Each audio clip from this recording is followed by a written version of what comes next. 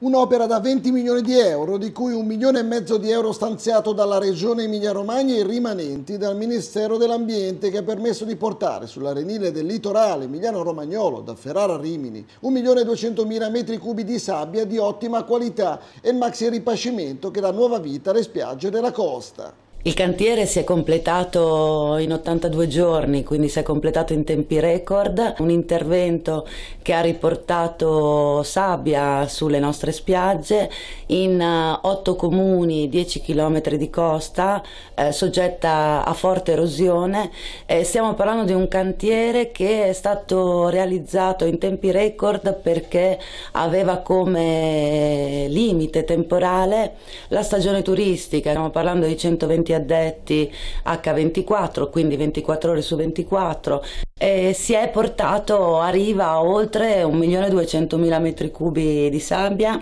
che hanno aumentato la profondità delle spiagge di una media di circa 40 metri. Maxi cantiere da 20 milioni di euro, di cui un milione e mezzo finanziati con risorse del bilancio regionale e la restante parte eh, dal governo nazionale. Un intervento molto atteso dal